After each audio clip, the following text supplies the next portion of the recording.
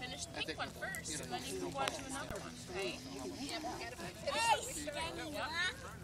That's cool. It'll be cool for a while. Be sure you stay inside your tape, Chance, again. What? That's all right. Chance number. I said don't splash. Chance, don't splash.